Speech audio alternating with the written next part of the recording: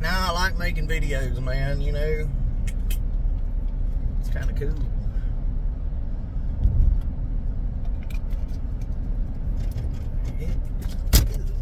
I'm a country boy.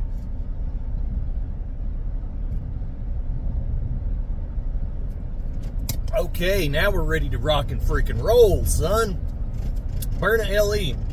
I got the Merciless Lethal 12 gram adapter on it so it doesn't put the accessories way down low. All that jazz. You know. So, way I got this one loaded, I've got Byrna Pepper and Byrna Max in it. Alternating, I believe. Uh, but they're both in there. But then the very top one here, and the one that's still in there, so, you know, number one and two are 9.9 gram riot balls. So take advantage of that first powerful shot.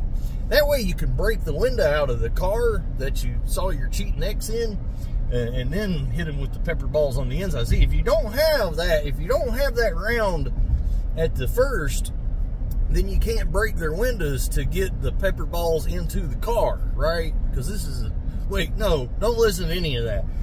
This is an defense weapon. All right. So what you need to do, if you wanna, if you wanna be smart about it, put you the uh, the hard ball as your first shot, even if you're using pepper. I'm gonna tell you why. And I think I've done this video before and maybe never uploaded it, but I'm gonna tell you why that's really important because of this scenario, carjacking scenario. If if you get like, and, and I want to make something very very clear to you guys while this thing is not that powerful and whatnot, if you're shooting somebody in a parka, um, if you shoot somebody in the face with this, they gonna go down. Look at my videos with the ballistic head. A Byrna will crack a skull at close range.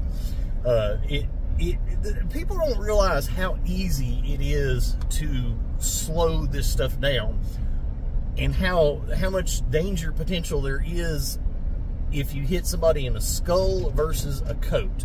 There's a massive, massive difference because this isn't a firearm, right?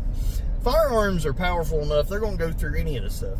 But people get it in their heads that because people can shoot each other in the body with these things that they're not deadly. But don't don't make the mistake with the right ammo and the right distance you can you can definitely crack somebody's skull with one of these, and that's you know. So bear that in mind. Don't don't get too uh, don't get too comfortable that they're not gonna actually cause permanent damage.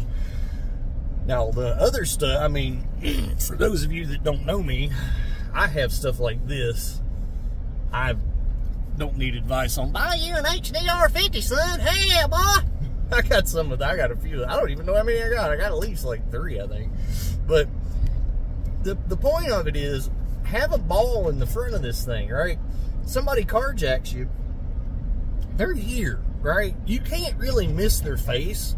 So they don't wear a coat on their face. See what I'm saying? So it, you don't really have to worry about that.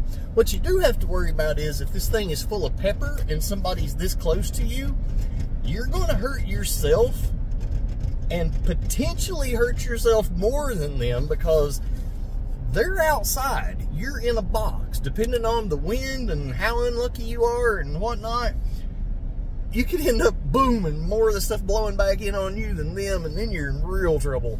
They're not going to carjack you at that point because they're not going to be able to get in the car either, but I'm just saying. So, cheating X's or carjacking situations, it's definitely best to have a hard ball as your first round. I've got a hard ball as my first two rounds in this.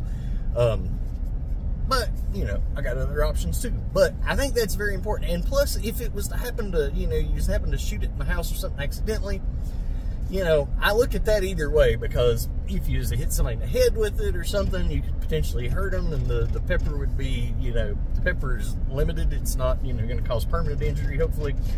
Um, so, accidental discharge number one, with the ball in there, might prevent you from, you know, clearing out your house or whatever. But then again, it might be a little less safe as far as if a kid was to get hit with it or something.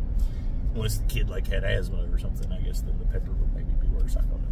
Yeah. All right. So anyway, that's all that. Glad we had this talk. Sweet tea, son. Real country boys drink sweet tea.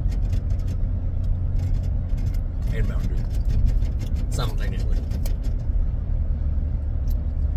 Mountain Dew chaser.